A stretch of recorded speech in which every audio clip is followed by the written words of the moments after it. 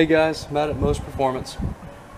Today I'm going to show you how to remove your mechanical clutch fan and install an electric fan on your 4th gen Hemi Ram. Uh, this truck has a VaraRam intake so I need to remove that first.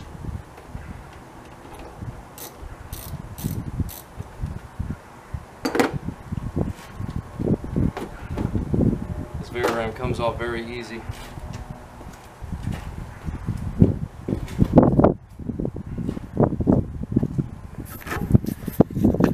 Okay, the intake out of the way, you can see you have a mechanical clutch fan right here. And it's going to spin on the water pump pulley. But to get this off, we have to break this nut loose right here at the base of the fan. Now, if you just try to spin that nut, the water pump pulley is going to spin with it. So what I've done is taken a piece of flat bar. You can see here, and I've drilled two holes in it, run a couple of bolts through there. You're going to put those bolts through the holes in the water pump pulley. You see here, there's a couple of holes in the pulley there. You're going to put the bolts through that to hold that pulley in place while you break the fan nut loose. I like to use a big crescent wrench. Just put a big crescent on the nut and then you're just going to use a hammer to hit that crescent to break the nut loose. So let me set this down and see if we can get this off real fast.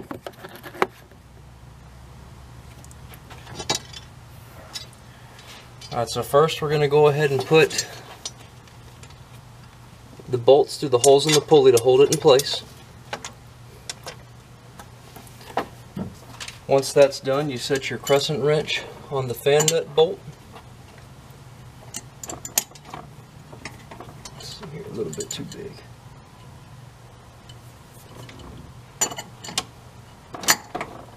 Okay, and now we're going to hit that with a hammer and once we hit this, it should break loose fairly easy. There it goes.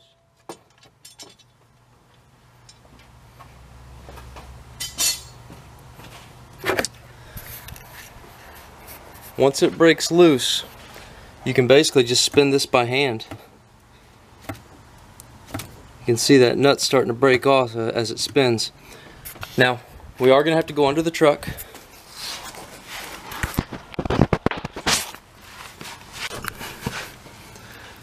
You can see that this shroud right here keeps the fan in place. I'm trying to loosen this with one hand. You got a couple clips right there. Here we go.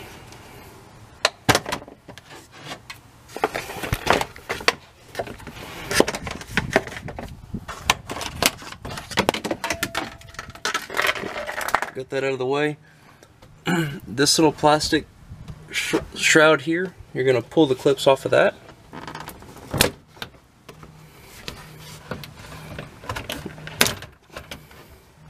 Pull that one as well. Okay. And now we're going to take that fan off. Be careful that you don't let it fall on your face like I just did.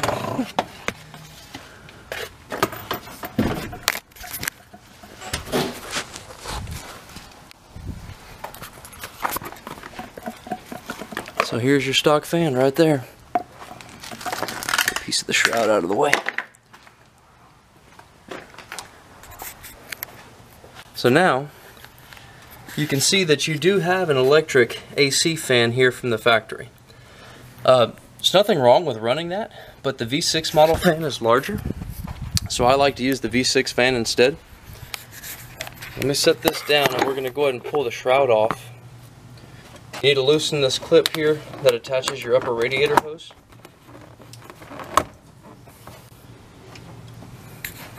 And then there's two 13 millimeter bolts, one on each side. You can see there's one here, and then there's one here on the other side. So we're going to go ahead and break those two loose real fast.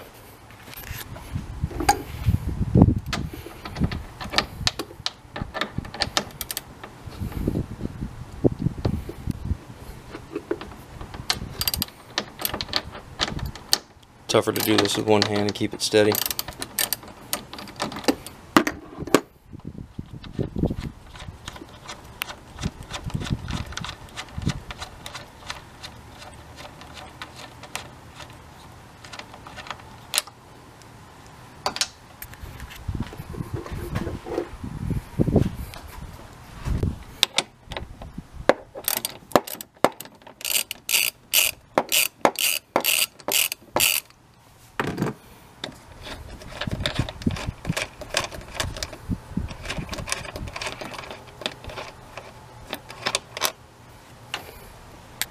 Alright.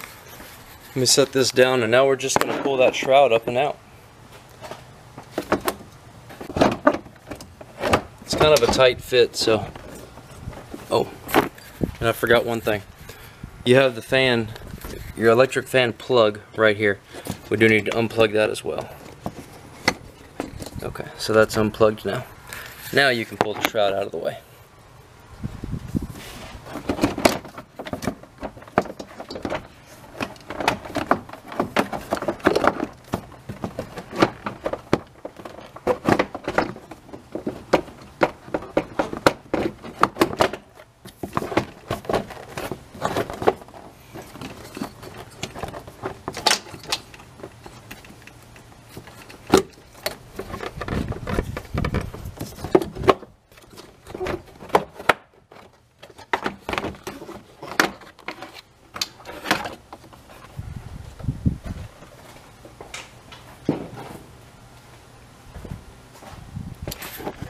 Look at how much more space you've got now with that factory fan shroud going. Much easier to work on the engine bay now. So the next step is going to be to remove this factory AC fan. There's going to be two of these metal clips. One on the top and there's another one down on the bottom. So we need to bust those two loose real fast.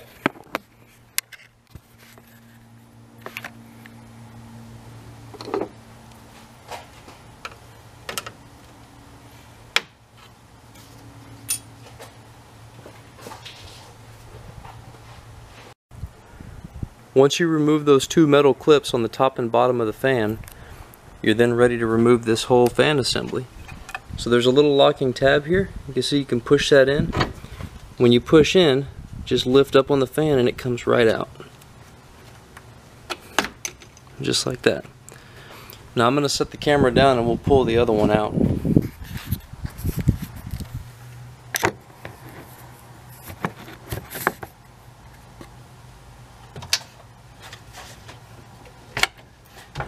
Once those two clips are released, the fan comes out very easy.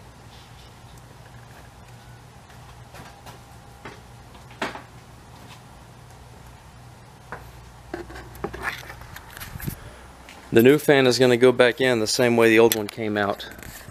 So I'm going to set this up and we'll get that taken care of.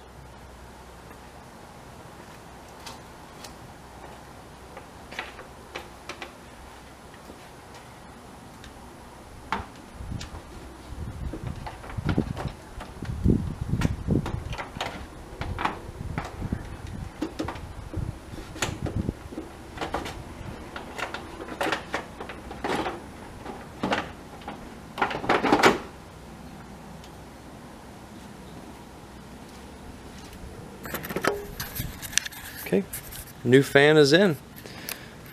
So now we need to plug in our connector.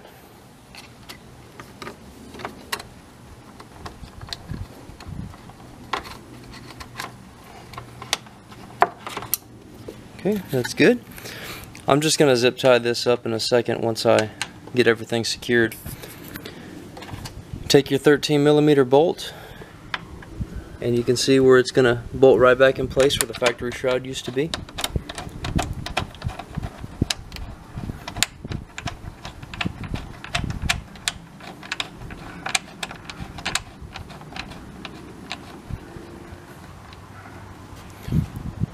Same bolt on the other side.